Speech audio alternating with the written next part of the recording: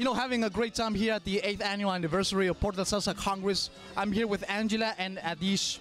How do you guys feel about this event and um, is it different than any other? Well, what a great event to be part of. Um, I've never been to Portland. This is my first time at the Congress, and just to be among the level of dancers that are here, it's just a fantastic experience. So, congratulations to Javier for putting this on. It's um, quite the thing to put any kind of salsa event on. So, to, to see this magnitude is great. Wonderful um, experience. Where are you guys visiting us from? Uh, Canada, Victoria, Canada. And um, is this the uh, the first time you guys are visiting a, a congress like this, or is it um, one of many that you have, you know, been part of? We've been part of um, a few congresses that we've uh, just danced at, but this is the first one that I've competed at, and um, Adisha certainly competed at the Portland one a few more times than I have. You know, you guys did a spectacular, phenomenal performance. Um, it's been wonderful to see you both. How long does it take you to uh, practice and do all this? Um, you know, for us to, to, for all of us to view it.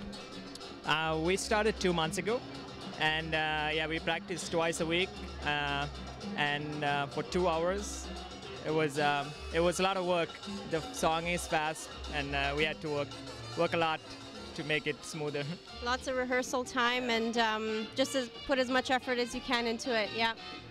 You know, this is the uh, eighth annual anniversary, and um, hopefully we'll have many, many more to come. Are you guys looking forward to come and visit us next year? Absolutely, absolutely. course, we can't yes. wait. Yeah, can't wait. Maybe we can compete in the in the solos as well. Maybe next year. Yeah. You know, if you could tell one final thing to our viewers um, for them to visit us next year uh, and many more years to come, what would it be? And you know, tell them a little bit ab- about your experience, and you know, for them to um, to take the initiative to uh, to visit us here at Portland. Um, I think, first of all, the energy is great here. You know, you come and everyone's welcoming. Um, I think salsa in general is quite inviting, especially to newcomers.